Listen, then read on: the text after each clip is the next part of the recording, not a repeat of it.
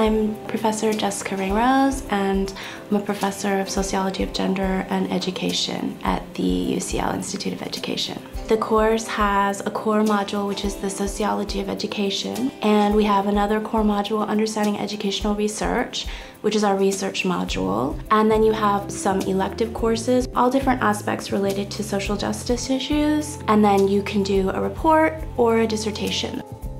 Being able to study wider social justice issues is something I find really important and I think it's drawn a really diverse set of people to the course. You've got people from all walks of life, um, kind of young, old, um, people of colour. It's, it's amazing. It's a, it's a really wonderful bunch of people. We are discussing tough issues. You have awkward moments. You have really brilliant debates and it's pushing everyone to learn from each other or learn new perspectives and that's something I wasn't quite expecting from the course but it really has provided every single week and I think will continue to we draw on all the experts in our department, including Professor Stephen Ball, who's really world famous in terms of sociology of education. And we have a range of other experts who do inputs around intersectionality, feminism, race, inclusion, disability, refugees. So it's a really special offer that brings together the very best of what we have to offer in our department.